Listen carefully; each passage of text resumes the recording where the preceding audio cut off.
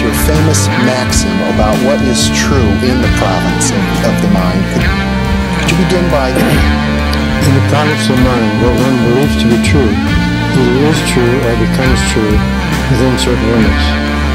These limits are to be found experimentally and experientially, and so found, these limits turn out to be further beliefs to be transcended. In the province of mind, there are no limits.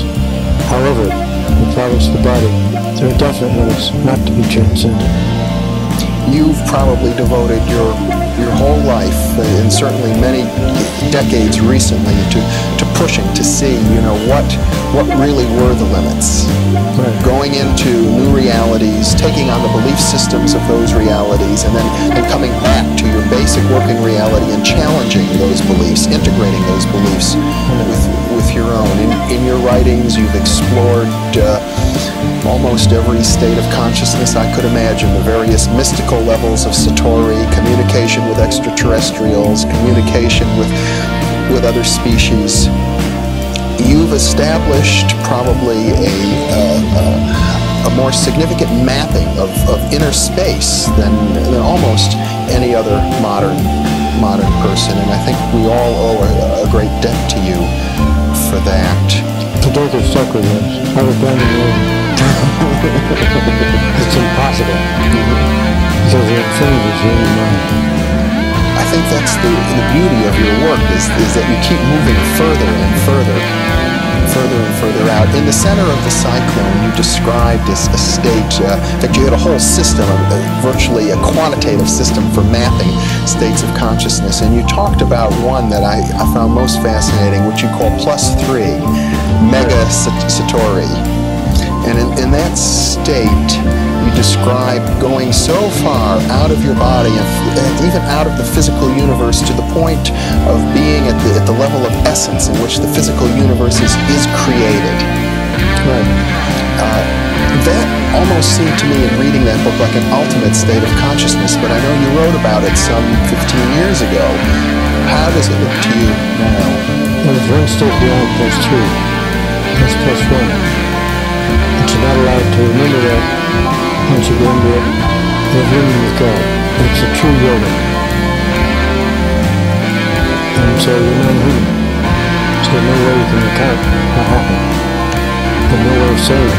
Just beyond language. All those states are beyond language. Language is a very instrument to express it.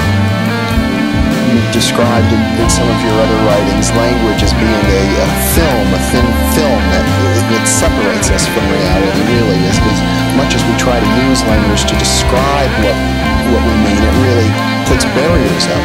Well, um, there's one use of language that's bad. That's the injunctive use, telling you how to do.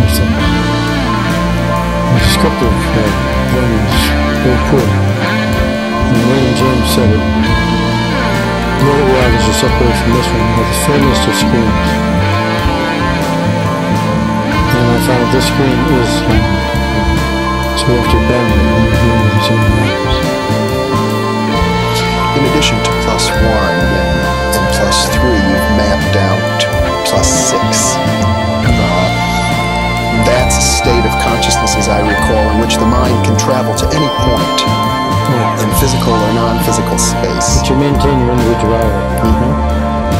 Must be a, a basic mode of, of, a, of a psychic explorer. I, I gather from reading much of your work that you spent a great deal of time in plus six.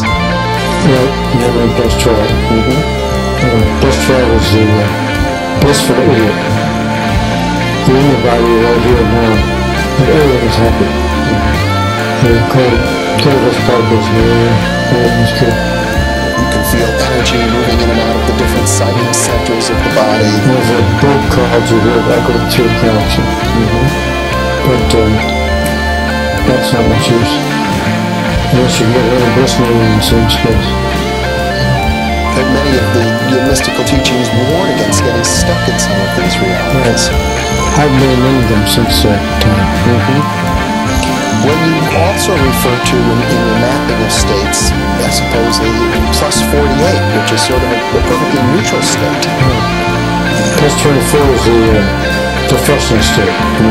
In discipline which are born. Were lost in discipline. 48 is where you're communicating with everybody else. And then there are the mind states. But uh, I don't go into those.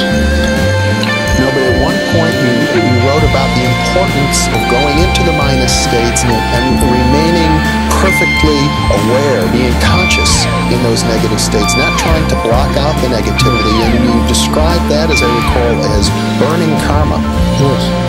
And then there's a, in Heart, there's a chapter called um, The Guided Tour of Hell, which was uh, minus six.